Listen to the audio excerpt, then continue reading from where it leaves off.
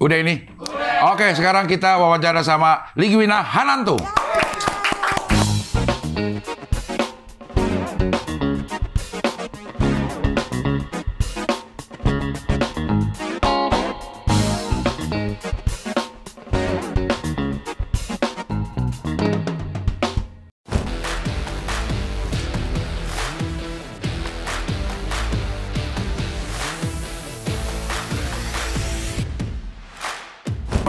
Bisa beli barang di luar negeri seharga 1000 dolar tanpa dikenain pajak di sini ya?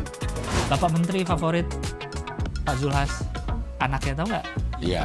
Eh, join member berarti anda tahu kalau ini nih jelas salah gitu. Jadi kalau masih ada yang bisa nonton YouTube, bisa ke internet tapi masih ke tempat gini sih gua nggak bingung sih saya. Tapi hanya ngasih guideline Iya. dan harusnya idealnya adalah apa pun tayangan TV sebelum tayang gini juga kan Ke ke, KPI. KPI. dulu. Beliau tentara. Emang ntar gaji berapa kalau jenderal Saya TNI? gua nggak tahu tahu, makanya. tapi kan Ungkap, dong. Loh, ngomong ngomong apa adanya. Nggak, gua nggak tahu. Ngomong apa adanya. Berarti Kenapa tentara- Anda menuduh beliau korup? ada ngomong. Tadi gue diiringi masuk dengan lagu judulnya Sebelum Kulelah. Bapak kamu tukang cat ya? Saya di luar, misalnya kayak gitu, Ja- jangan sampai kelihatan lah. Gitu. Hah? Selingkuh, tapi salahnya karena kelihatan.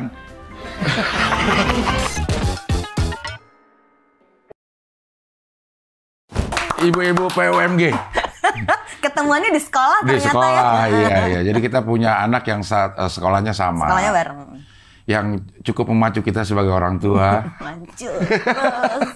Cangke yang dalam bang. Iya, udah tiga tiga anak, tiga tiganya anak. di sekolah itu. Iya, tapi yang dua udah lulus dari situ. Jadi rasanya kayak gue udah agak bernafas bayar uang sekolah tinggal Iya. satu. Yang dua masih kuliah sih, tapi kan nyiapin dana, dananya udah terpisah itu. Nah itu yang pengen gue tanya, lu nyiap nyiapin dana anak sekolah sampai begitu anak ini lulus SMA bernapas lega karena uangnya udah ada untuk kuliah. Dari kapan nyiapinnya? Dari si anak yang besar, eh, dia umur satu tahun lah kira-kira. Buset. Miss planning, aku tuh miss planning. Apa-apa tuh di planning. Mau ke sini jam berapa aja di planning. Makanya on time kan. iya iya iya. Berarti kan ngambil. Iya dari satu tahun, ya dari satu tahun. Art- Artinya kan anak-anak umur berapa sekarang? Sekarang umur 22. 22 tahun, berarti 21 tahun yang Yes. lalu. Itu tahun 2000, du- 2003. 2003. mm-mm. Maksudnya kalau ke sini-sini orang udah udah aware lah sama financial planning gitu. Iya. Dulu tuh dari mana? Eh, dulu kejadiannya sih lucu-lucu aja. Jadi gue emang eh, kuliah S1 finance Ah. ya.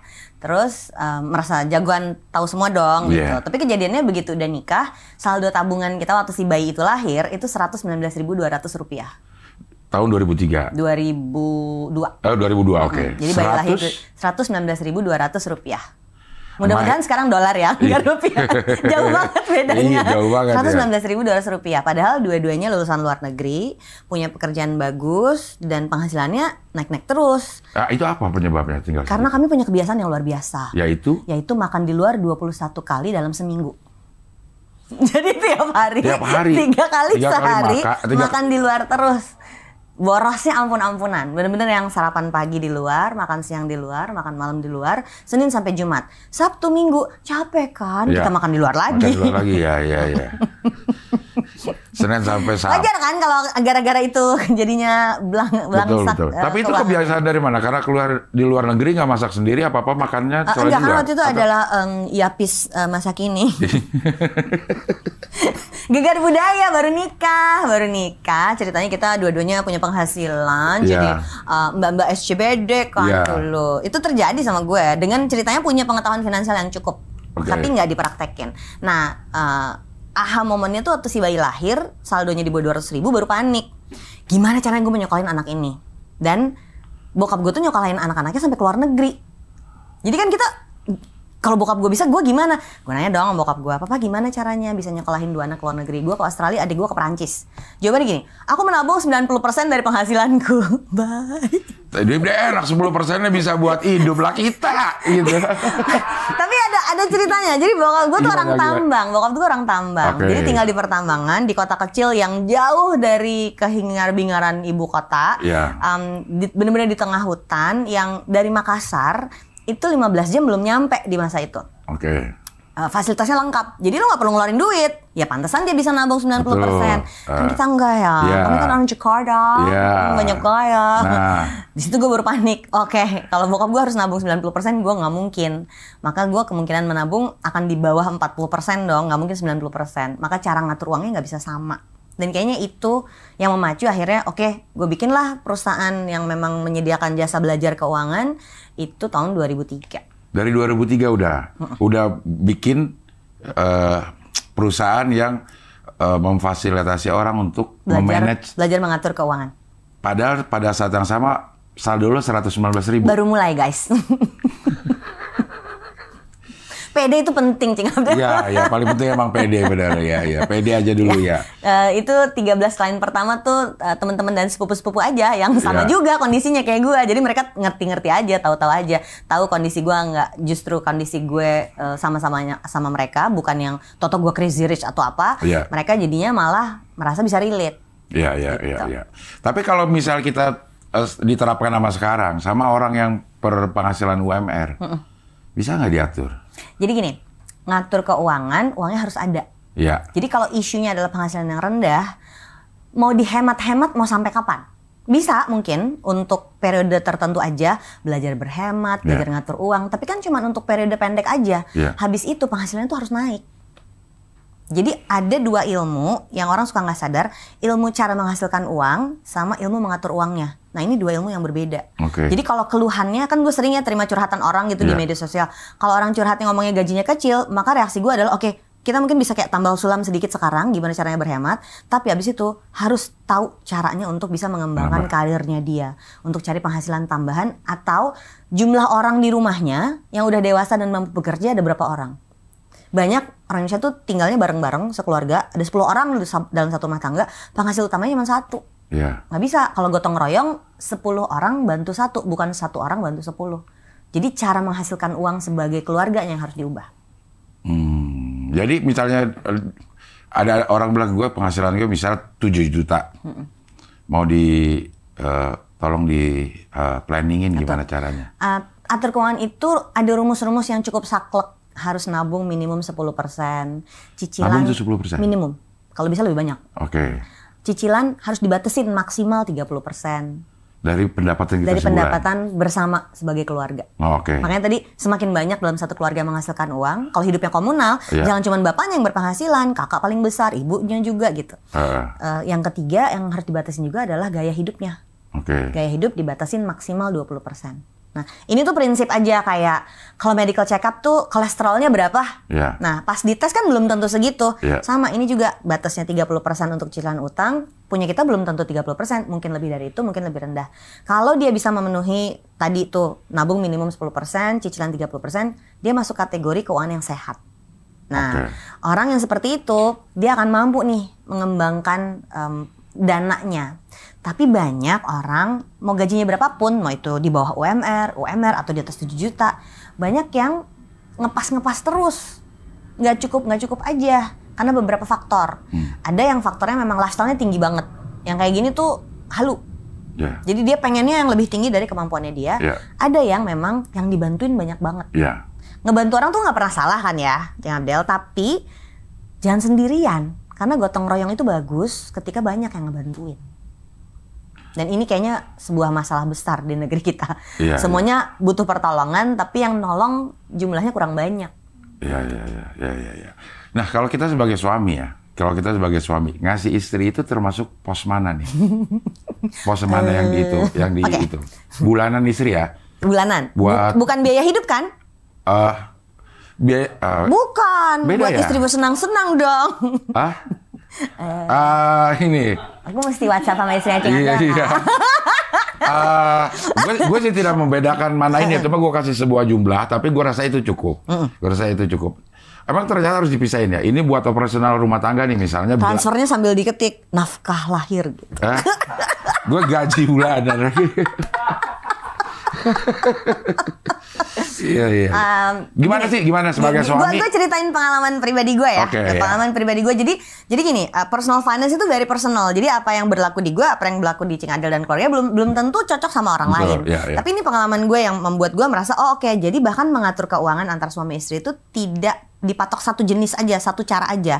Dengan hidupnya berjalan, maka cara ngaturnya mungkin berubah-ubah.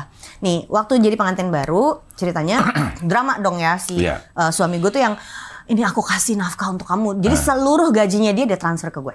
Ah. Jadi gue yang kelola semuanya set set, set, karena ceritanya kan gue yang jagoan ngatur keuangan. Iya. Itu uh, periode pertama uh, waktu kami baru nikah mungkin lima tahun pertama lah kira-kira. Iya. Habis itu uh, gue bikin bisnis kan si perusahaan gue mulai berkembang, gue Iya. udah gajian, gue ada THR. Suatu hari dia nanya, kamu udah gajian? Udah. Duit kamu jadi apa?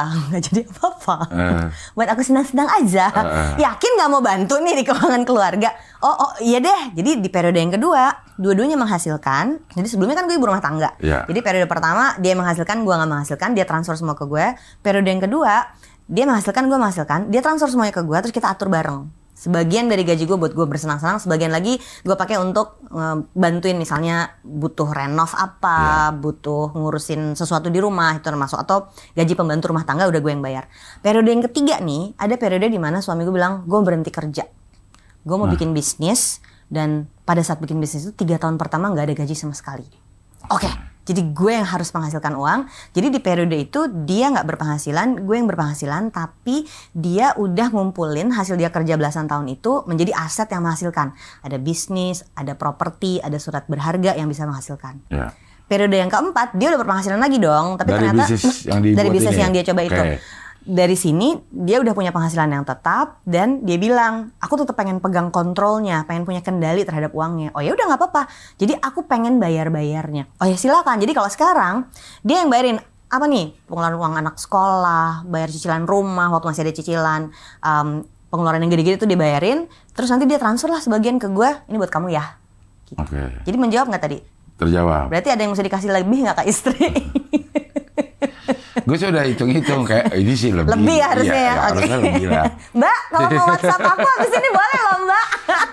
iya iya. Ya, itu sih tergantung kesepakatan aja. Tapi Benar, kata kuncinya itu sepakat nggak antara suami istri. Jadi jangan sampai dengan alasan nafkah perempuan juga minta berlebih yang nggak masuk akal. Menurut gue hidup kan bersama-sama ya. Iya wajar kalau eh, kita berharap ada nafkah dari suami dalam bentuk keuangan. Tapi nafkah itu wajib tanpa syarat. Jadi kalau suami menghasilkan cuma sejuta diterima, menghasilkan 100 juta, alhamdulillah, gitu. Iya iya iya iya. iya. Dan Nah, gue ngerasain periode dia nggak ada penghasilan, oke berat ya ternyata jadi pemberi nafkah aku tidak suka. Betul, Tolong betul. segera berpenghasilan kembali. iya, iya. Nah berapa persen biasanya buat si istri bersenang-senang? Nggak ada patokannya. Nggak ada patokannya? Nggak ada patokannya. Sesuai kemampuan aja dan jangan ini ada satu yang menarik. Jangan sampai hubungan kita berkeluarga itu transaksional. Hmm. Aku kan udah bayar sama kamu, kamu harus baik dong sama aku. Itu transaksional. Iya iya. Kalau ngasih tuh emang benar-benar karena bagian dari tanggung jawab, karena memang kasih sayang, Kasih sayang, bukan ya. karena kalau gua ngasih ini maka lu harus ngapain sama gue. Jangan kayak gitu. Menurut aku dengan uang tuh kita harus hati-hati karena uh, banyak keplesetnya urusan relationship sama manusianya gara-gara duit. Hmm. Kadang jadi ada kayak relasi kuasa yang terbentuk secara nggak sadar karena kita sering ngasih gitu ya. Mm-mm. Dan akhirnya jadi toksik kan kalau kayak gitu. Nggak cuman suami sama istri ya, ke anak juga jangan-jangan jadi begitu. Kan mama udah bayarin kamu, maka kamu harus melakukan apa? Kok kayaknya nggak sehat ya kalau kayak gitu. Jadi harus hati-hati banget soal si hubungan manusia dengan uang tadi. Eh ya, nggak maksud gue sebagai sebagai sebagai orang yang berpenghasilan. Gue kan gue sendiri nih. Ya, Hmm. Lu seba- pemberi nafkah utamanya Pemberi nafkah keluarga. utamanya gitu. Tadi 30 persen, eh 30 persen cicilan, Cicilan. 10 persen tabungan, Minimum, minimum. minimum Kalau bisa lebih 10%, banyak. eh, terus satu lagi 20 persen 20% bersenang-senang. bersenang-senang. Nah, Sisanya tuh sekitar 40 atau 40%. 60% Dari itu biaya situ- hidup keluarga. biaya hidup keluarga. Jadi yang mau dikasih ke istri bisa bentuknya untuk biaya hidup keluarga, bisa juga sih sebagian yang bersenang-senang tadi kan ada 20%. Iya. Nah, apakah itu 10% buat istri, 10% buat suami bisa diatur. Wah, tap- kayaknya ada revisi budget nih abis ini. Iya. Tapi memang harus ada uangnya sih. Iya, makanya Iya. tadi gue bilang. Jadi kalau ada orang yang keluhannya penghasilannya kecil, susah banget. Jadi gini, financial planning itu bukan solusi kemiskinan. kemiskinan itu solusinya harus di kebijakan publik. Ya. Gue nggak punya ilmunya kebijakan publik dan Ya. dan jadi orang sering anggap lu sadis ya gitu.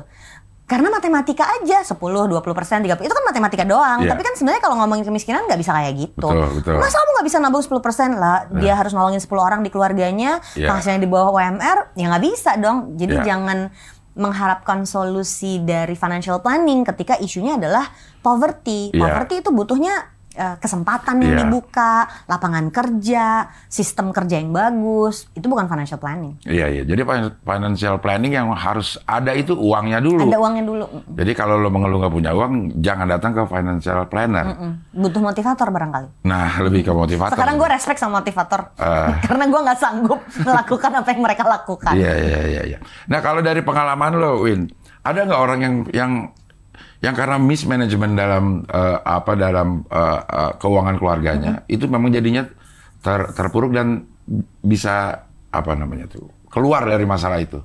Banyak kasus yang zaman dulu di, eh, kita bantu itu eh, isunya memang middle class ke atas Oke. yang sudah berpenghasilan, Heeh. eh, tidak dalam bentuk penghasilan yang rendah. Em, isunya kebanyakan adalah lifestyle. Lifestyle. Jadi si middle class ini isunya terbesar adalah lifestyle.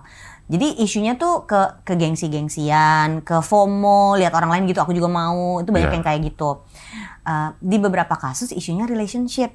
apa tuh? Relationship jadi eh, dia punya eh, hubungan yang kurang baik sama istrinya atau hubungan yang kurang baik dengan keluarga em, mertuanya misalnya sehingga urusan uang ini tarik-tarikan terus. Hmm. Jadi kompensasinya tuh ke uang. Jadi kalau ini masalah keuangan, solusinya tuh satu tambah satu sama dengan dua. Kalau urusannya keuangan, maka solusinya matematika kan, bisa dihitung. Iya. Nah, ketika kita ngomonginnya personal finance, ada kata personalnya, ternyata isinya tuh psikologis manusianya, relationship dia, perasaan dia. Duit mah nggak pakai perasaan kan ya, Iya. duit kan benda mati gitu. Iya. Jadi akhirnya banyak diskusinya harus, oh dia harus benerin dulu nih eh, cara dia berkomunikasi dengan orang-orang sekitarnya baru bisa diperbaiki. Isu yang sekarang lagi paling hot itu di antaranya pinjol sama judi online sih Terjerat itu. di mana-mana. Mau itu kita pergi ke kementerian, mau itu ke BUMN, ke perusahaan tambang, ke organisasi nirlaba, isu pinjol sama judul itu ada di mana-mana, nggak pakai pandang bulu. Level-level tinggi juga judul-judul Judul juga. juga ada. Dan itu kan isunya bukan cuma keuangan ya, itu udah addiction. Addiction ya. Udah addiction. Mental addiction Nah, itu udah, ya. udah addiction. Semua yang addiction itu kita nggak bisa cuma bilang stop dong, nggak bisa cuma gitu. Ya. Kalau pinjol addiction apa ininya? Pinjol isu terbesarnya kalau menurut gue ini udah Iya. ngeri ini udah mafia ini udah predatory jadi eh, yang menjadi eh, target utama pinjol yang liar itu adalah mereka yang umurnya antara 25 sampai 32 dan berpenghasilan dianggapnya kalau pakai eh, Badan Pusat Statistik udah menengah ke atas ya. Jadi udah UMR ke atas. Tapi bukan yang penghasilan 30 juta gitu. Jadi antara penghasilan 5 sampai 20 juta itu kena pinjol beberapa memang ada yang isunya lifestyle misalnya pengen nonton konser karena Iya. temannya pergi gitu ya tapi ada juga yang memang mereka hidupnya udah susah terus dia desperate nggak punya solusi lain ngambilnya pinjol sehingga hidupnya udah berantakan tambah berantakan ini buat gue udah predatory Eh, atau predator kan jadi yang Iya, iya. bener-bener nyari mangsa Nyari nyari mangsa, mangsa, ya. gitu ya, bahaya ya. banget Ya. Nah kalau tadi lo cerita ternyata personal apa personal Personal finance personal finance is itu- very personal. Iya. Nah itu lo gimana cara ini kalau memang ini terjadi eh, ternyata komunikasinya nggak benar, mungkin ada yang kompensasinya jadi suka foya-foya atau Nah itu gimana cara nyampeinnya? Kadang yang kayak gitu, em, kalau isunya misalnya relationship dengan pasangannya, kita sampai bilang mau pergi ke marriage counselor nggak? Karena kita nggak bisa. oh. Sampai harus kayak gitu. Karena kita harus Oh. bedain. Gue kan ngomongin keuangan, gue Iya. ngomongin marriage counseling. Iya. Akhirnya kadang mau pergi ke marriage counselor apa nggak? Karena gue nggak bisa. Gue bilang gitu. Ada yang mau pergi ke psikolog nggak? Karena gue nggak bisa.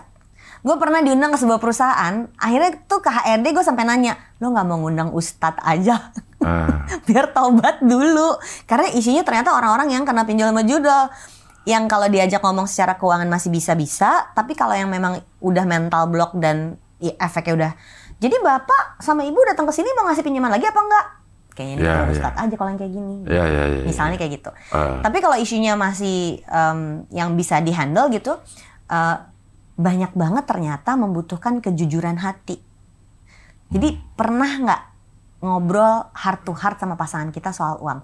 Contohnya ya, aku pernah ketemu kasus yang gini. Eh, istrinya misalnya punya eh, dari suaminya dikasih eh, 5 juta. Setelah dihitung untuk dia bisa investasi setiap bulan itu butuhnya 5 juta. Ini buat investasinya aja ya di Iya. luar pengeluaran rumah tangganya. Dia butuh lebih dari 5 juta, dia butuhnya misalnya tujuh setengah juta. Kurang Win, gue cuma ada 5 juta buat investasi. Dari suami untuk investasi cuma dikasih 5. Ya udah deh, panggil aja suaminya ke sini kita kasih lihat yuk datanya. Data kan nggak bohong ya Cing Abdul. Iya. Data tuh kan angka persis aja plek-ketipok kayak gitu nggak pakai Iya. perasaan. Gue tunjukin dong untuk anaknya kuliah di tahun kesekian, setor investasinya tuh harus sekian sekian sekian, totalnya tujuh setengah juta. Terus suaminya lihat, sekarang cuma ada berapa? Kan kamu cuma kasih 5, 5 juta kata istrinya gitu. Yaudah deh, aku kasih lagi tujuh setengah juta untuk itu semua. Terus istrinya bongong. Kok nggak bilang kalau ada lebih dari itu? Ternyata nggak percaya selama ini kalau dikasih duitnya tuh diapain sih gitu. Jadi kalau udah kayak gitu kan ini isunya eh, apa ya? Trust needs to be earned. Ada loh perempuan-perempuan yang dikasih duit tuh nggak bisa gitu ada. Nah ketika jelas uangnya buat apa suaminya aku bisa kasih lebih banyak kok kalau jelas ini buat apa. Nah dari situ kita jadi bisa buka kejujuran antara suami sama istri soal uangnya dipakai buat ini kok. Oh oke aku sebenarnya penghasilan sekian loh. Habis itu baru tuh dia tunjukin asetnya ada apa aja. Itu ternyata butuh orang ketiga untuk ngomonginnya. Supaya bisa terbuka gitu ya. Ya. Oh iya. aku nggak pengen tahu sih sebenarnya gaji suami orang berapa Iya, iya. Tapi, tapi, kalau untuk di masa diatur, itu ada yang kayak gitu Iya, iya. Tapi kan kalau mau kalau mau diatur ya harus tahu dong berapa uang yang yang bisa diaturin nanti. ngobrolnya lebih enak kalau informasinya lebih lengkap. Eh, tidak semua pasangan suami istri cerita lengkap loh. Ada suami istri yang nggak bisa cerita lengkap, ada. Dan itu kita nggak bisa mengkritik karena ya kan chemistry-nya Iya. beda-beda ya, personal mereka aja gitu. Tapi kalau informasi lebih lengkap, tentu saja merencanakannya jadi lebih gampang. Hmm. Nah kalau misalnya itu kayak investasi itu maksudnya gue kurang ngerti deh. Di- investasi itu ada dua jenis Iya, ya. iya, iya. Ada namanya investasi akumulatif, ada investasi generatif. Oke. Investasi akumulatif itu adalah pada saat kita punya sebuah target, terus kita kumpulin yuk sedikit demi sedikit, lama-lama jadi bukit. Targetnya itu udah harus ada berapa besar uangnya. Ya, Misal angkanya target, harus spesifik. Mau Oh. kuliah, oke butuh 400 juta misalnya. Hmm, anak mau kuliah butuh 400 juta dua tahun lagi. Oke. Maka cara kita berinvestasi adalah kita setor, bisa dihitung nih pakai matematika ada rumusnya, ada, Ada rumusnya. rumusnya, Ini ini oke. ilmu finance adalah rumus. Finance itu isinya rumus. Rumusnya adalah setor berapa juta setiap bulan, harus tumbuh berapa persen setiap tahun untuk mencapai 400 juta itu. Oke. Jadi kalau anaknya umur satu tahun sama anak yang umur 12 tahun sama anak yang umur 17 tahun, setorannya beda. Iya. Makin kecil usia anaknya, Semakin- setorannya makin kecil. Ah. Makin gede usia anaknya, setoran makin gede karena jangka waktu untuk harus dicairkannya makin pendek. Itu investasi akumulatif. Oke. Satu lagi namanya investasi generatif. Investasi generatif tuh punya aset yang bisa menghasilkan. Jadi beda ya. Kalau akumulatif kan kita punya target, kita mesti kumpulin nih dari gaji setiap bulan kita setor. Kalau generatif kita punya aset, dia yang ngasih duit ke kita. Contohnya, jadi jadi ibarat beternak ayam petelur. Oke. Ayamnya jangan dijual, telur yang kita manfaatin. Oke. Ada empat jenis aset aktif yaitu bisnis eh, kayak eh, warung bakso lo tuh. Iya. Kalau ada bagi hasilnya itu bisnis yang menghasilkan. Lo nggak harus kerja di situ. Ada orang lain yang ngurusin. Iya. Ada properti yang disewain. Ada surat berharga kalau pernah dengar ori, sukuk. Satu lagi adalah eh, digital em, hak kekayaan intelektual. Oke. Jadi kalau dapat dapat Copyright. copyright, iya. dapat royalty, Royalty, iya. itu yang keempat. Jadi ini ini termasuk cukup baru gitu. Iya. Eh, ini kayaknya baru gue masukin dua tahun terakhir di dalam eh, kategori empat aset aktif ini. Iya. Jadi ultimate goalnya, ultimate goalnya, dan itu yang terjadi waktu suami gue berhenti kerja dulu. Kita punya em, satu atau kombinasi dari empat aset itu, dan dia menghasilkan lebih besar dari biaya hidup kita. Maksudnya gimana tuh? Misalnya biaya hidup per bulannya 5 juta. Bisnisnya menghasilkan 2 juta, propertinya menghasilkan 2 juta, em, obligasinya menghasilkan eh, 1 juta. Jadi 5 juta nih. Ya. Maka kita nggak kerja pun dari bisnis properti sama obligasi menghasilkan 5 juta. Bisa hidup makan sebulan, keluarga kita. Gitu. Itu namanya financial freedom. Jadi ultimate goal of a financial freedom adalah pada saat kita kerja nggak kerja, ada aset yang menghasilkan setiap bulan sebesar pengeluaran kita. Jadi yang dikunci ada dua. Aset yang menghasilkan, tapi pengeluaran kita nggak boleh kitanya. gede-gede amat. Iya. Karena begitu pengeluarannya Iya, gede, iya, misalnya iya. pengeluarannya 15 juta, asetnya menghasilkan 5 juta. Nggak financial freedom namanya gitu. Iya iya. Oh jadi si Radit kalau contohnya Radit dia cukup terbuka dengan ininya. Dia Hmm. bilang beberapa tahun yang lalu dia udah financial freedom sebenarnya. Ya. Berarti asetnya dia sudah mampu menghasilkan per bulannya biaya hidup dia. Dia bilang gue sih cing sebenarnya gue tinggal gue kurangin 20% gaya hidup biaya gue. hidup ah. Gue ketemu Radit tuh tahun berapa ya? 2010 atau 2011 Eh. gitu. Eh, nggak nunjukin cara bikin financial plan. Eh, Abis itu dia bisa kerjain sendiri. Iya. Nah, dan ini Radit bahas di YouTube-nya kok, jadi bukan rahasia. Eh, dia punya dana pensiun yang dia bisa tarik sebesar 4% tiap tahun untuk biaya hidupnya dia. Itu namanya financial freedom. Bisa aku hitungin sih, Cing, nanti ya buka laptop deh. Mesti berapa M Iya, targetnya? maksudnya 4% doang udah bisa nutupin biaya hidup iya, Radit. iya, uh-uh. Radit, uang lu berapa, Dit? Itu yang disebut financial freedom. Tapi jadi orang berpikir financial freedom tuh duduk-duduk aja nggak kerja kan enggak. Iya, Hidup iya. kan bergerak terus, Betul. life goes on. Jadi dia tetap kerja, tetap berkarya. Kalau nggak pikun kalau dia nggak berkarya. Jadi yang penting adalah tidak kerja demi duit. Kerja karena seneng ngerjainnya. Kalau Hidup udah yang merdeka. kalau udah ada 4% se setahun udah cukup. Yes. Dia mau simpen di mana aja sebenarnya cukup ya. Maksudnya pasti di atas 4% itu. 4% tuh cukup angka yang rendah. Jadi sebenarnya 4% itu angka yang dipakai eh, di sebuah tesis PhD tentang pension plan di Amerika. Eh, Nah, angkanya 4% tuh di Amerika gede banget. Di Indonesia 4% itu kan nggak beda jauh dari obligasi sama deposito Iya, sebenarnya. iya. Jadi di Indonesia sebetulnya bisa lebih besar lagi kalau kita memang bikin kombinasi tadi bisnis properti surat berharga sama kekayaan intelektual ini, Iya. ini totalnya bisa lebih dari 4% sebetulnya. Ya kayak misalnya surat berharga kan kita tidak punya kemampuan untuk menentukan berapa besar ya return kita nantinya dibanding bisnis ya nggak sih? Iya, tapi angkanya kan jelas. 5%, 6% udah pasti dapat. Ada yang pasti. Iya, kalau SBN iya. Jadi sekarang nanti ya eh, selesai syuting aku tunjukin. Langsung investasi kayaknya habis ini Cing Abdel. Jadi surat berharga negara itu ada periode penawaran. Misalnya satu bulan nih penawaran. Selama periode penawaran tuh ditunjukin sama pemerintah. Ini ya, kalau kamu masukin uangnya ke SBN, nanti akan dapat return sekian persen. Pasti. Jadi memang kalau pengen eh, di planning itu uangnya harus ada dulu. Kalau memang lo merasa kekurangan ya jangan ke financial planner. Itu bukan solusi yang tepat. Bukan. Dan kalau keuangannya lagi nggak sehat, nggak usah investasi. Berobat jalan dulu. Oke. Jadi- Jadi keuangan gak sehatnya apa sih indikator? Utangnya kebanyakan. Oke. Nggak bisa nabung sama sekali. Hutang tuh di eh tadi ya 30 Batas yang 30%, 30% tadi ya. Dan biasanya kayak gitu isinya akan kartu kredit, pinjol, pay later, kayak gitu-gitu. Itu beresin aja dulu satu-satu. Itu udah beres, bisa nabung 5%, 10%, baru mulai investasi. Iya iya iya. Step by step. Ya sedikit-sedikit di di diidealkan dulu kondisinya sampai utang lo tuh maksimal 30%. Setelah itu baru bisa. Setelah itu bisa. Nah ini nih tanpa menyebutkan produk ya, tanpa menyebutkan produk, gue tuh sering banget eh, apa namanya, termasuk gue juga pernah menjadi korban dari eh, iming-iming asuransi unit link. Gue pernah jadi number one public enemy agen asuransi. Iya. Karena gue berani bilang, gak usah beli unit link. Dimarahin sama seluruh dunia. Eh, itu sebenarnya apa sih ininya? Ah, Jadi, ininya? em, Is- is- isinya tuh sebenarnya apa? gitu? disclaimernya adalah kalau sekarang orang Iya. mau beli unit link silahkan. Tapi kalau dulu gue keras banget nggak bolehin orang beli unit link karena orang berpikir mau investasi lewat asuransi. Ya. Padahal asuransi itu di dalam financial planning fungsi utamanya proteksi. Jadi uang hilang aja emang itu. Jadi uang hilang aja. Oke. Nah, masalahnya si orang Indonesia ini, ya nggak orang Indonesia aja sih, di luar negeri juga banyak kok yang kayak gini. Cara berpikir kita adalah, gue kan naruh duit ya di situ, berarti itu duit gue. Iya. Jadi naruh uang di tabungan, duit gue. Naruh uang di SBN, ditaruh di negara, duit gue. Ya. Naruh uang di emas itu duit gue Iya. gitu kan. Jadi waktu kita naruh uang di asuransi, kita pikir itu uang kita. Padahal yang kita bayarkan itu namanya premi asuransi. Itu bayar jasa. Jadi ibaratnya kita beli payung, tapi nggak dipakai dulu. Belum dipakai. Iya. Kalau hujan baru dipakai. Kalau nggak hujan ya udahlah gitu. Nggak rugi kan beli payungnya. Nah kita berpikirnya ya rugi dong gue udah beli asuransi tapi gue nggak sakit. Di kepalanya tuh gitu.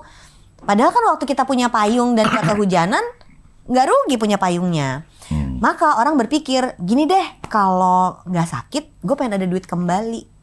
Maka dibikinlah struktur unit link supaya kalau sampai orangnya nggak pakai asuransinya ada saldo yang berputar bisa diambil. Sekarang gini deh, kalau lu jualan payung, terus gue beli payung sama lu, terus gue bilang, eh kalau nggak hujan gue minta duit balik ya. Lu akan jawab apa? Lu akan bilang, nggak bisa gitu dong. Atau lu akan bilang, yaudah deh, boleh ada duit kembali kalau kalau ternyata nggak hujan, tapi harganya naik ya. Hmm. Jadi asuransi unit link itu harganya akan cenderung lebih tinggi dibandingkan asuransi yang tradisional. Iya, iya. Maka apa pun yang mau kita beli jenis asuransinya, selalu lihat kebutuhan asuransiku apa, produknya nyambung nggak sama kebutuhannya. Kalau itu unit link dan nyambung, beli. Tapi kalau ternyata itu di dalam unit linknya nggak cocok sama kita, jangan dibeli. Contoh ya, Iya, iya. Zaman dulu tuh aku pernah ketemu nyambungnya kasus eh, ada temenku tinggalnya di Pondok Indah. Eh, Ini daerah yang cukup elit di Jakarta Selatan. Terus dia punya asuransi. Terus aku lihat asuransi unit link. Terus aku lihat di dalam unit link. Jadi unit link itu ada unit investment seperti reksadana plus asuransi-asuransi. Terus aku tanya, ini asuransi di dalamnya nih kamu perlu semua apa enggak? Oh iya dong. Satu ada asuransi kesehatan. Asuransi kesehatannya kalau dia sakit akan masuk kamar kelas berapa? Gitu kan di Iya. zaman dulu nih. Iya. Dia rumahnya di Pondok Indah. Jadi aku tanya, kamu kalau sakit mau rumah sakit mana? Yang deket rumah lah, dia bilang gitu. Si asuransinya di masa itu waktu aku periksa, kalau sakit dia masuk kamar yang 250 ribu semalam. Nggak ada di rumah sakit tuh nggak ada yang kamar ada, 250 ribu. Lu taruh di gang, gue bercandainnya gitu. Eh, Jadi lu mesti pindah ke rumah sakit lain di sektor sebelah. Iya. Nggak mau katanya gitu. Berarti ini asuransi unit linknya nggak cocok buat dia. Karena yang dia butuh, dia freelancer kerjanya, masih tinggal di rumah ibunya di Pondok Indah. Orang ini beli asuransi unit link, di dalamnya ada asuransi kesehatan yang dia nggak akan bisa pakai. Ini yang disebut nggak nyambung.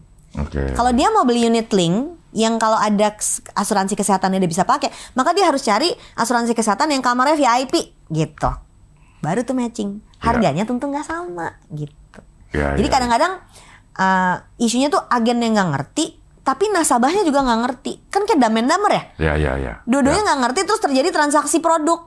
Rugi loh dua-duanya karena si nasabah ini lama-lama akan sadar dia nggak butuh produknya, si agennya nggak bisa mempertahankan nasabahnya. Tapi kalau agennya benar-benar ngerti yang dibutuhin nasabah apa, nasabahnya tahu yang dia mau apa, matching. Ini akan jadi relationship yang kuat banget antara nasabah sama agennya. Hmm. Dulu gue dimusuhin sama agen asuransi karena berani ngomong kayak gitu. Di radio, zaman di radio dia galak banget urusan kayak begini. Dimusuhin sama agen asuransi di mana-mana. Sekarang agen tuh bisa ngomong, bener mbak, gue setuju sama lo. Karena banyak orang yang setelah investasi 6 tahun, 7 tahun, pengen ngambil duitnya udah nggak ada. Karena memang waktu itu strukturnya 6 tahun pertama, habis. Duitnya nggak terbentuk sebagai investasi. Padahal di kepala orang aku mau investasi kan. Iya. Lah investasi mah hari ini disetor harus jadi saldo dong kayak yang ada di handphone Iya. lo tadi kan di aplikasinya gitu. Iya, ini iya. yang akhirnya jadi isu. Sekarang udah beda banget. Sekarang agen asuransi udah lebih pintar dan si nasabahnya udah ngerti. Aku mau tapi maunya yang kayak gini kayak gini kayak gini. Nanti agennya harus craft gimana caranya supaya produknya cocok gitu. Eh, misalnya gue mau kamar yang seharinya berapa? Dan produk udah berubah ya, produk Iya. tuh udah berubah. Kalau dulu kan kamar yang 750, Iya. kamar yang sejuta setengah. Sekarang Betul. tuh udah nggak mau kamar yang sendiri kalau di Opnam. Nah, Oke. tiap rumah sakit kan harganya beda-beda tuh. Beda-beda. Jadi diambil yang paling tinggi. Betul. Jadi kita nggak akan kayak bump pindah ke kamar yang berdua iya. karena asuransi kita bilang hanya yang sendiri gitu. Oh, ya, ya, ya. Pernah ya. ngerasain di Opnam nggak?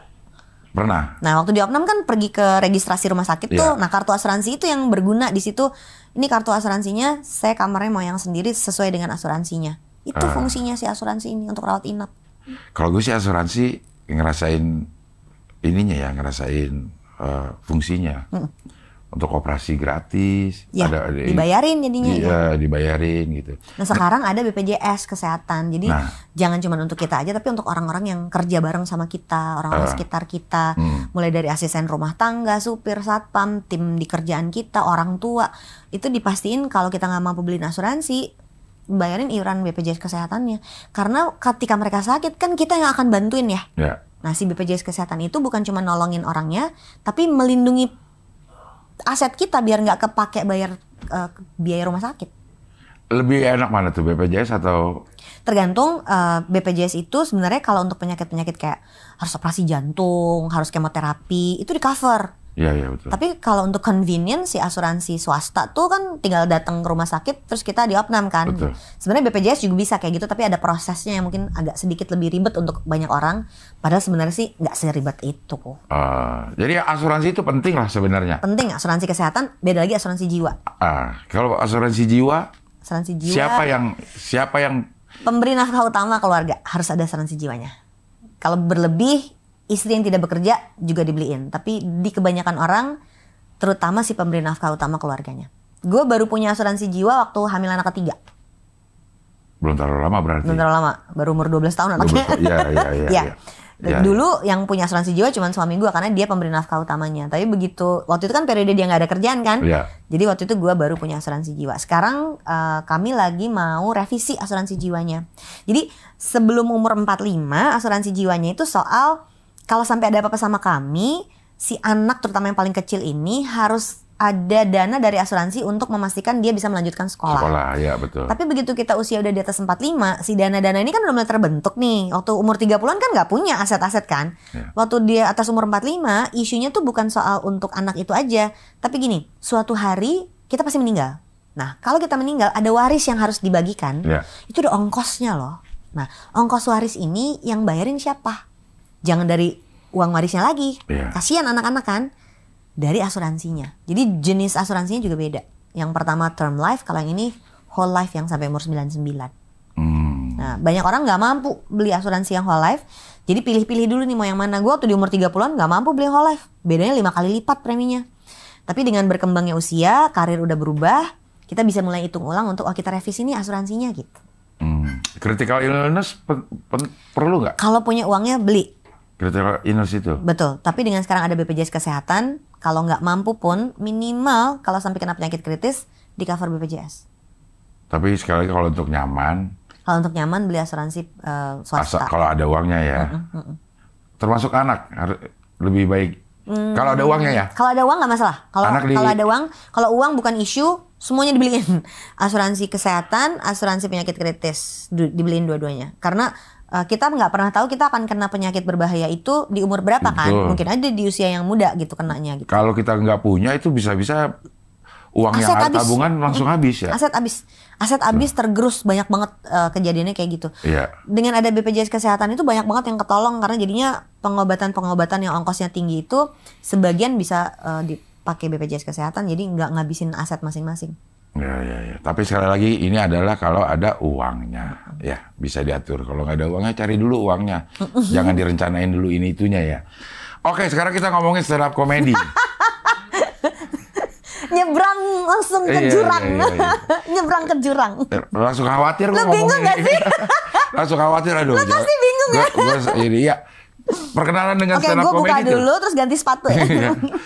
Ap- apa pertemuan dengan stand up comedy ini di, di Gua, mana dan kapan sih? Eh, emang sering nonton video YouTube stand up komedi dari luar yang berbahasa Iya. Inggris. Jadi sebelum di Indonesia mulai tuh emang punya minat ke situ. Terus em, waktu stand up mulai, gue kan emang temenan sama Panji udah lama ya Iya. dari zaman siaran radio bareng. Eh, terus eh, lihat Sadia Ma'ruf waktu Iya. baru menang pertama tuh. Iya. Di situ gue suka banget lihat Sadia bisa ngomong sesuatu yang nyerempet-nyerempet bahaya kayak gitu. Iya. Emang dasarnya pengen nyerempet bahaya kan. Iya, iya, iya. Nah sebenarnya eh, dari 2003 itu kan gue ngajar keuangan. Kalau gue dipanggil ke korporasi ngajar dua jam, terus pesertanya tuh bosen mukanya. Gue berusaha mencari perhatian mereka untuk balik lagi eh, mau merhatiin materi keuangan itu pakai jokes. Jadi jokes gue tuh banyak karena gue setiap hari ngajar dua jam isinya setnya diselip-selipin jokes gitu. Iya. Jadi waktu nonton Sadia Maruf, lihat Panji, lihat Radit, gue yang kayaknya gue punya materi deh gitu. Akhirnya tahun 2012 ada gue mulai ikut eh, ke komunitas, nyoba-nyobain open open mic. Gig pertama gue tuh dibayar berapa ya waktu itu? 2 juta setengah gitu. Gig pertama tuh ada Udah gede juga itu. lumayan, lumayan Iya. banget di masa itu. Iya, iya. Oh. Eh, Teh Hina, mau nggak eh, jokes di acara perempuan 7 menit? Boleh deh, gue bilang gitu. Nyobain lah situ.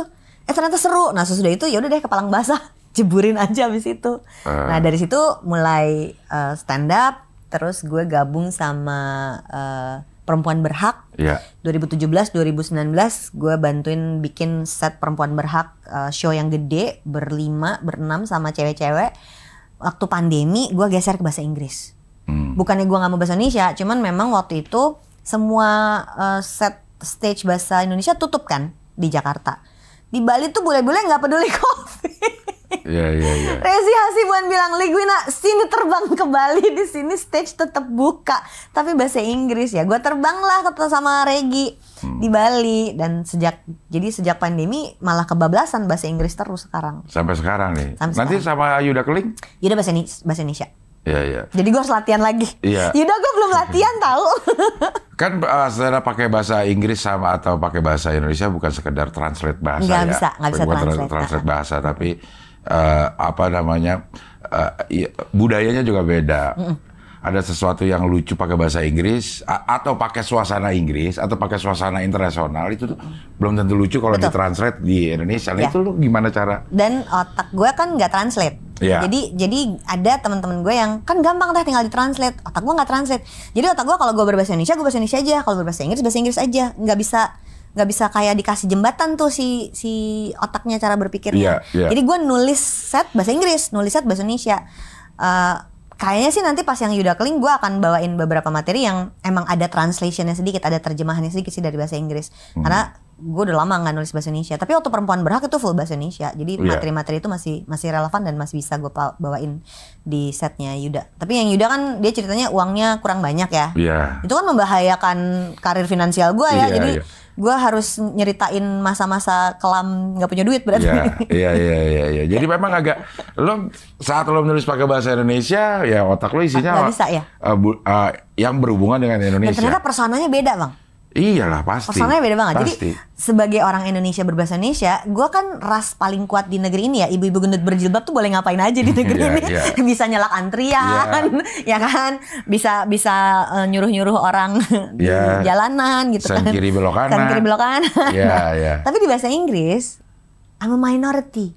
Eh, Gue perempuan Muslim yang dianggap oppress. Iya. Jadi waktu perform pakai bahasa Inggris dan gue berkerudung di luar negeri, orang tuh ekspektasinya kaget waktu itu. Oh ternyata dia kayak gini gitu. Iya. Dan itu jadi kayak ada elemen of surprise-nya gitu. Iya, iya. Dan manggung di luar tuh seru banget ternyata. si Iya, bahasa iya, Inggris iya. ini punya audience yang beda banget. Iya iya. Maksudnya dengan karena budayanya beda, Penontonnya beda. Penontonnya beda. Satu orang yang sama tampil, kesan penonton udah beda ya. Iya. Kesan penonton Iya. Indonesia lo Personanya nih. beda banget. Wah ini yang suka sen kiri, Belok kanan. Ah, kalau yang di Wah luar ini satu negeri, pengajian sama nyokap gue. Iya, iya. Tapi kalau lo tampil di orang internasional lah gitu, ngeliat tampilan yang seperti ini, wah ini orang minoritas nih, ber- Iya, mau ngomong uh-uh. apa ini Mau gitu. ngomong apa dia ya? Itu aja udah membuat setnya beda. Uh-uh. Nah, Nah itu lebih sulit mana lo?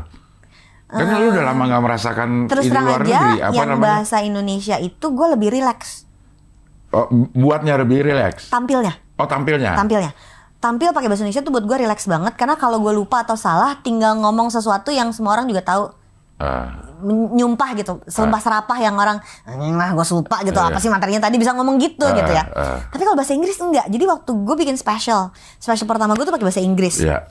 itu gue pakai teleprompter word by word ada di teleprompternya saking gue takut salah Kok, kok gitu? Malah ma- bukan jadi nggak terlihat. eh, gue sampai jadi seolah-olah tuh baca word by word saking gue nggak mau lepas satu kata pun hilang karena kalau satu kata hilang ntar gue lupa nextnya apa apalagi gue tuh modelnya yang storytelling kan Iya. jadi cerita ini harus disambungin sama cerita ini Iya. harus jadi kalau gue lupa di tengah bubar nih urutannya gitu jadi Ah. waktu gue bikin special pakai bahasa Inggris gue pakai teleprompter yang word by word jadi kalaupun gue lupa gue benar-benar bisa baca word by word tapi waktu perempuan berhak nggak pakai teleprompter dan kalau salah atau lupa ya udahlah Udahlah, gitu ya. gitu. jadi Ya, gue ya. merasa eh, gue lebih rileks pakai bahasa Indonesia eh, lebih I'm in my own skin gitu Ya. tapi begitu bahasa Inggris kayak harus acting gue ngerasa gitu ah, jadi di bahasa Inggris tuh gue harus acting harus acting fierce gue tuh perempuan muslim tunjukin sama dunia kayak harus gitu kayak Ya. ada beban kayak gitu gitu iya, iya. kalau bahasa Indonesia kan ya I'm everybody di sini semua orang mukanya kayak gue kok Iya, gitu iya, iya, tampilan ibu kerudungan tuh banyak di sini gitu eh, jadi sebenarnya memang lebih nyaman. bahasa lebih Indonesia sebenarnya kalau tampilnya gue lebih nyaman bahasa Indonesia tapi karena susah mungkin jadi jadi asik Iya, ya bahasa iya, Inggris iya, ini iya. Nah, apa sih biasanya materi yang ini premis-premisnya apa sih tentang? tentang perempuan, Ah. eh, tentang hidup seperti apa, eh, ngetawain bedanya perempuan sama laki-laki, Eh. Eh, apalagi ya, eh, yang gue lagi bahas tuh kemarin eh, kekonyolan yang terjadi di hidup kami. Jadi misalnya suami gue pengen ngasih nama anak gue Maradona, Yang mana tuh? yang, paling besar, Yang paling besar. Yang laki-laki kan gue laki, perempuan perempuan. Ah. Yang paling besar tuh mau dikasih nama Maradona Bagus kali. dari hasil asmara Dondi Wina. Yuh, nggak bagus. Nggak jadi deh. Kalau kalau alasannya itu nggak usah. Enggak. Lu bayangin itu dan itu kejadian beneran. Usah kak. itu kejadian materi. Iya ya. Kalau nama Maradona karena pengagum pemain bola oke lah. Tapi kalau Kalau alasannya gara-gara singkatan hasil asmara dan dan hina nggak usah. Males kan? Nah, Iya, iya, ya, iya. yang kayak gitu-gitu. Eh, itu kan cukup universal dan bisa diterima sama banyak orang. Iya iya iya.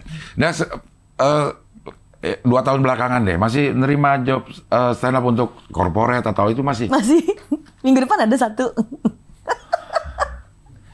Jadi ini tuh dunia yang gue tidak bayangkan akan kejadian. Ah. Dan ternyata gue stand up udah lama kan dari 2012 Iya, ya. iya. Eh, orang waktu gue mulai em, muncul video-videonya tuh karena materi gue tuh kadang suka jorok. Jadi gue nggak tampilin online dong. Iya. Kan kasihan kalau orang tua gue nanti nonton ya. Iya. iya. Orang tua gue belum pernah nonton gue stand up by the way. Eh, Eh, terus eh, gue jadinya em, menahan-nahan gitu untuk mana video yang boleh ditampilin. Terus orang nanya, baru teh? Enggak sih, udah lebih dari 10 tahun juga ternyata sebenarnya udah udah 4 12 tahun berarti Iya, gue stand iya, up. Eh, jadi kalau ditanya terima job, ada ternyata. eh. Eh, menariknya adalah banyak yang mintanya ada dicampur dikit ya English sama Indonesianya dan itu susah, Susah banget. dong harusnya ya. Kan, misalnya eh, kita ada senior management yang yang nggak bisa bahasa Indonesia. Iya. Oh yaudah, jadi di depan gue harus pakai bahasa Inggris dulu, abis itu baru dibabat pakai bahasa Indonesia gitu. Iya, iya. Itu musuh musuh utama itu terlalu heterogen penonton kita semakin susah Ah, buat kita gitu. Corporate gitu kan emang susah banget ya. Iya. Corporate gitu susah banget. gue belajar sih corporate gig itu gue minta ada nggak internal jokes yang boleh gue pinjem. Iya. Jadi misalnya gue pernah diajak sama treasury department sebuah bank. Ah, dan mereka tadinya mintanya finance. Terus mbak kita makan dulu sama senior manajemen begitu duduk mbak nanti harus lucu ya. Hmm, mateng gue bilang sama si Dea tuh hah? Gue harus lucu? Dea Dea ini materi finance atau materi keuangan? Si Dea lari lihat ballroom mbak panggungnya tinggi. Udah jebretin aja jadi bodor. Iya. dapet tuh misalnya ngetawain mereka di gedung bertingkat tapi Iya. makannya di tenda bi- tenda ijo Iya. gitu gitu itu dapet tuh mereka ketawa tuh oh gaya aja SCBD makan lu di tenda ijo oh tuh ketawa tuh mereka yang kayak gitu Iya, iya, iya, iya. jadi harus kalau ada komika yang dapat corporate gig, biasanya kan komika tuh ada egonya, gue punya set gitu ya. Iya. Kalau ke corporate gig, lupain dikit set lo. Lu tanya di dalam situ yang lucu apa. Iya, iya, iya. Si ngasih nama anak itu ternyata selalu pecah di Iya, semua iya, corporate gig. Gue cek apa nama brandnya yang bisa lucu-lucu di situ. Jadi bikinlah em, definisi nama anak-anaknya orang-orang yang kerja di situ. Iya, Dan iya. selalu ada ternyata mereka ngasih nama anak aneh-aneh sesuai dengan perusahaannya gitu. Iya, iya, iya, iya. Karena kalau kita di ya biasa di acara-acara seperti itu orang-orang yang hadir di situ belum tentu siap semua untuk nonton stand up. Iya, bukan penonton stand up Bukan kan. penonton stand up, ya ya. Jadi emang horor sih. Barangkali dia Corporate juga gig dia itu sering horor, sering Iya. sering bom kan bahaya Betul. banget pokoknya. Iya, iya Jadi gue selalu extra reset kalau ke Oke. corporate gig. Iya, iya, And iya. I think we're doing well. Ya, jokes-jokesnya juga nggak bisa terlalu uh, storytelling yang panjang punchline-nya. Hmm, harus pendek-pendek. Harus harus pendek-pendek. Nah, nah itu memang uh, buat lo mana nih? Lo bisa stand up gara-gara sering uh, presentasi tentang finansial atau gara-gara gara-gara gimana nanyanya? Ininya deh, kelindannya itu gimana? Apakah Karena gue presentasi. karena lo Ya, presentasi? jadi apa istilahnya 10.000 ribu jamnya tuh tercapai. Oke. Jadi dari 2003 gue ngajar finance set- hampir setiap hari dua jam sekali ngajar. Jadi nggak ada grogi dong di depan orang Betul. pegang mikrofon tuh udah autopilot aja. Ya. Di dalamnya ada jokes sehingga akhirnya jokesnya terbentuk. Jadi waktu mau stand up, gue sih ngerasa waktu, waktu mau stand up gue belajar dari nol ya karena kan gue nggak tahu apa itu laugh per minute, Iya. gue nggak ngerti harus di trim gitu-gitu Iya. punchline di mana kan gue nggak ngerti. Tapi gue materinya udah ada dan udah nggak grogi di depan orang kan. Iya. Jadi transisinya tuh lebih gampang. Mungkin kalau orang mau belajar stand up pertama kali kan bingung gitu ya Bingung, mau ya. mulainya gimana. Gue Iya. udah punya materinya dan gue udah tahu tinggal eh, naik panggungnya aja. Eh, editing kan terjadinya di panggung Di ya. panggung, betul. Nah itu gue belajar waktu ke Edinburgh kan kita ke Edinburgh. Eh, Edinburgh Fringe sama Mo Sidik sama Dana Regi. Pandawa sama Regi. Iya. Itu bener-bener yang nobody knows us. Orang nggak kenal kita siapa. Setiap malam penontonnya beda. Itu belajar ngetrim. 7 menit ya, 7 menit gak boleh lebih gitu. 5 menit, 5 menit gak boleh lebih bisa kayak gitu. Padahal gue tipe storytelling yang bisa panjang 20 menit kalau Iya. kalau bikin materi gitu. Iya, itu bela- belajar banyak banget sih. Edinburgh tuh kayak kawah Chandra di muka. Iya, iya. Kalau boleh nggak usah datang aja deh. Susahnya setengah mati. Karena kita orang nggak kenal juga kita. Nggak kenal. Budaya beda. Lu siapa lo mau Iya, mau iya, stand iya. up gitu. Nah, open mic sekarang masih keliling-keliling nggak komunitas? eh, Ke komu- ada komunitas bahasa Inggris namanya Batavia Jokkers. Batavia Jokers ya, Heeh. gitu, iya. Eh, hari Jumat ini Ah. Ntar gue whatsappin. Lo rutin itu di sana? Gue rutin, jadi gue bisa bikin stand up special pakai bahasa Inggris dengan materi satu jam. Itu gara-gara setengah sta- set- satu setengah tahun ke belakangnya itu gue setiap minggu bareng sama Batavia Jokers. Hmm. Jadi gue nulis materi tes di situ, nulis materi tes di situ sampai punya buat satu jam selama satu setengah tahun. Iya, iya, Makanya tahun ini nggak bikin special karena belum satu setengah tahun lagi. Iya, iya, iya. Nah, kalau orang pengen nonton lo dalam eh, bahasa Inggris, dia harus mengerti suasana gaya jokes Inggris atau dengan modal bisa ngerti, men- bisa mentranslate bahasa Inggris ke Indonesia, bisa ketawa nggak sama jokes lo? Bisa, eh, biasanya tergantung audience. Jadi ada satu lagi menurut gue skill yang harus dimiliki komika adalah read the room. Ya, itu apa maksudnya? Lu sesuaiin jokes lu sama orang yang hadir. Oke. Jadi ketika kita kalau Batavia Jokers kan open mic-nya bukan di komunitasnya aja, kita kerjasama sama restoran. Oke. Misalnya kemarin kita ada di restoran eh, yang reguler gitu ya sebulan sekali atau dua minggu sekali. Yang datang kan orangnya beda-beda. Oke. Jadi mungkin ada satu malam isinya ekspat. Nanti dua minggu kemudian yang datang ternyata geng em, organisasi nirlaba. Nanti yang datang lagi campuran orang Indonesia sama siswa gitu. Nah, jokes yang sama land jatuh di orang yang beda, Beda, belum itu tentu. harus di-adjust kan, Iya. itu harus harus di, digeser, harus diadaptasi.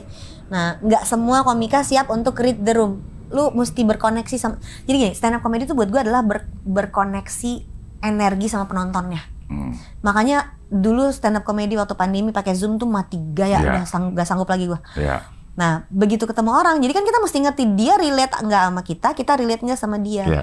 Jadi ada tuh teman-teman di Batavia Jokers yang sebelum acara dia akan keliling, kenalan, salaman, biar berkoneksi dulu. Sampai kayak gitu, karena konteksnya restoran. Iya. Beda waktu pernah dibikinin sama Merbat Comedy sama Mo Sidik, bikin show gede di American Club di Iya. Dharma Wangsa. Itu yang nonton 200 orang. Ah udah hajar aja itu mah apa aja ketawa karena mereka datang bayar Siap untuk eh, siap untuk nonton. ketawa. Ya, itu mah ya. dilempar apa aja ketawa. Tapi pergi ke restoran, orang datang buat makan. Iya dia tahu ada stand up comedy, tapi dia nggak nggak bukan penonton komedi. We need to read the room. Mesti ken- berkenalan ini kira-kira yang mana yang bakal cocok ya. Hmm. Misalnya, misalnya ada ada di sebelah situ ada geng Cindo. Gue punya jokes buat Cindo. Sebelah situ ada eh, anak mahasiswa. Gue punya jokes buat mahasiswa. Harus kayak gitu. Dan itu skill yang gue nggak ta- nggak tahu. Ternyata gue punya gitu. Iya, iya. Gue nggak sadar. Dan itu ya karena naik panggung terus. dan nyobain stage terus. dan punya punya audiens yang berbeda-beda terus pada saat lo Ya. presentasi finance Makanya anak-anak di Bali jago. Karena open mic English di Bali tuh seminggu dua atau tiga kali. Hmm. Kayaknya gue seminggu sekali aja udah keder gitu ya. Iya iya iya. Mereka benar-benar seminggu dua tiga kali. Makanya jam terbangnya langsung tinggi, skillnya langsung beda, skillnya langsung berubah. Kalau ketemu um, Annie, uh, Regi, Dana, Amal, skillnya beda banget. Fajar, skillnya beda banget. Anak-anak Bali, gue gue muji lu nih, Rek. Gue muji-muji lu nih, Rek. Eh, bagus-bagus ya. bagus bagus. Iya iya iya iya. iya. Oke Wina terima kasih sudah hadir sini. Thank you. Sudah eh, mencerahkan tentang keuangan Dan komedi. dan komedi. Kalau pengen nonton Wina eh, nonton aja di eh, Yuda Keling. Yes. Yuda Keling tuh kapan ya man?